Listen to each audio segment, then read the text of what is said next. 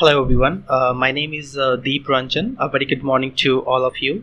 So in this video, uh, we are going to uh, see about the image background removal project. So for that, I'm going to use here a paper, uh, a deep learning paper, which comes in uh, 20 November 2020. And the paper name is, is a green screen really necessary for real-time portrait matting? So first of all, we'll try to understand uh, why this uh, image background removal service is important. Okay, so like a background removal uh, can be defined as a type of photo editing service that allows editors to get rid of unwanted background and replace it with another photograph or images that is appropriate as per the requirement of customer or client okay so the process of background removal seems to be easy uh, but in reality it is complex in nature as uh, involves spending considerable time technology and resources by the editors okay? So in getting the required picture or image as per the business requirement of clients or user of the image or photograph so this is the like uh, importance of the image background services. So as I told you we are going to use here is green uh, really necessary for real-time portrait matting. So in this paper they are using a concept called MODNet. Okay? So what exactly this uh, MODNet is? Uh, MODNet is uh, like its full form is moving object detection network with motion and appearance for autonomous driving okay? So actually MODNet is a very uh, lightweight matting objective decomposition network which can process portrait matting from a single input image in real time. And also it is much faster than the like a older way older matting methods and it runs at the 63 frame per second 63 fps okay? And it achieves remarkable results in daily and the photo daily photos and video. And it is easy to be trained in any end-to-end style.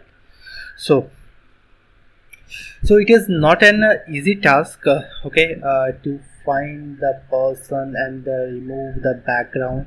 Many techniques are using basic computer vision algorithms for this task quickly but not precisely. So this paper is really a, a very good one and it it is really very faster than other methods. Okay. So now uh, I'll come to the implementation part. We are not going to uh, like us see here the complete uh, architecture. Okay I can't explain you as of now. In just 10 minutes video. Okay. So first of all we'll see uh, what all things I have done. So if you can see here uh, just let me uh, go to top. Okay. So this uh, you can see this URL this is the github page. Okay. Uh, let me open it. This github. So this is the github page. Okay. MODNet paper if you can see here also they are using this uh, MODNet only for background removal and it's working uh, pretty good right? Okay? It's really pretty good. You can see here also. It's really good. Okay? So uh, what i have done here okay i have used their pre-trained model. Okay? I haven't trained it. I have used their pre-trained model and I've integrated with the Flask API and let's see how it is working okay? So this is the code for that. I'll give you a brief about that what all things I have done here. So I have simply imported Flask and all those uh, components like a Flask render template response request send redirect URL for send and the Flask these things. And this inference this inference is the inference.py okay? So in which i am i'm just uh, loading my model and doing all the prediction kind of a thing okay? Import os fine. So here is the upload folder okay? After pre after prediction uh, where my uh, image get uploaded in this folder it will get uploaded. This is the index.html page okay? So when i will uh, run this app so that that index that html will open. It will render after that. So this is the important part okay here. So we are taking the file okay uh, we'll just uh, select the path of the file okay. We'll select the file and that will be passed through this file name secure file name okay after that this will be uh, this file name will be joined to that upload folder. It will be added to that upload folder also. And then we'll find the file path. We'll save the file path okay? And that file path will be passed to the this inference to predict uh, to do the inferencing part okay? To the to do the uh, prediction here. So this can be done there. So what is happening in the inference I'll just uh, show you. Uh, before, first of all we'll try to understand what all these things are doing. So after this inference once the inference like the prediction is done okay then what we are doing we are just uh, clearing up all the caches that are all uh, like created by the API okay? So we are just uh, clearing all the caches by using these code you can check anywhere so what is happening in the inference? So in inference we are loading the model. We are getting uh, we are get giving the output where my image is going to uh, save and that will be saved in the png format. This simply just uh, if the image path and the model path is not at this so it will simply print a message like model kind cannot find the model path and cannot find the input path. Okay. So after getting the image okay it will check for the image height and width and according to that it will convert into into uh, some uh, some size like we have given a size of 512 512 okay? In that size it will convert it and then it will that same image path will be read by the CV2 method and it will convert this BGR image into RGB then the shape will be changes like uh, if uh, there will be a difference in the shape then it will just uh, do some kind of a conversion here okay nothing else is there. Just resizing operation is doing here and transpose swap axes expand dimension will dimension.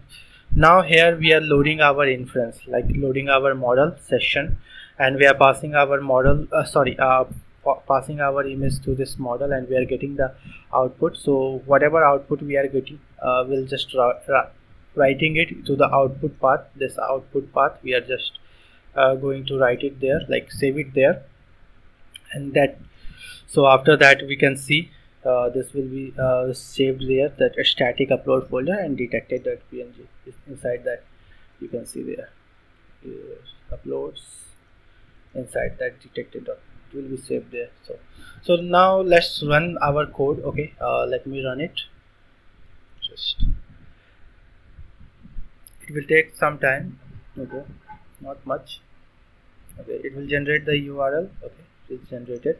Copy the url and then paste it there.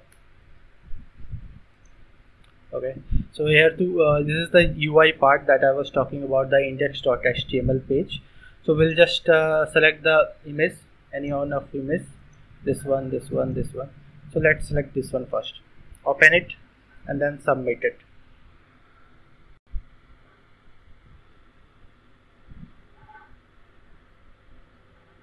uh, here it is taking some time uh, maybe uh, 30 seconds it will take to predict okay? After that it will work fine. Just wait for a second. Couple of yeah, second.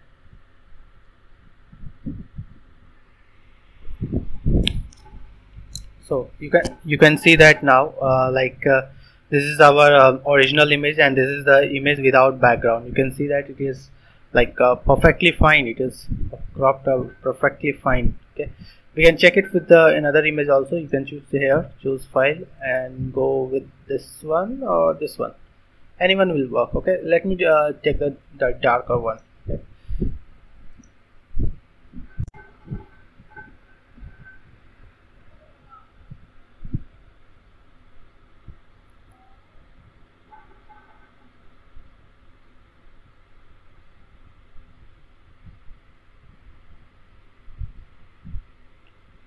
Yeah you can see that this one.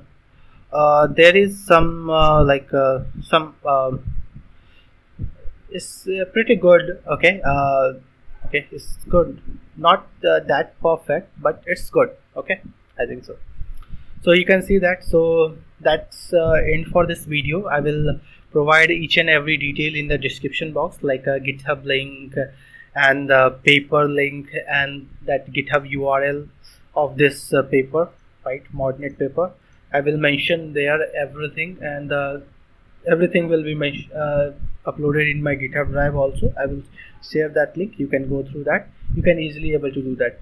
I have tried with this Flask one. Uh, in next video i will try to deploy it in another any of the server like heroku aws azure gcp anyone if it works. Okay? So definitely. So thank you everyone. Bye bye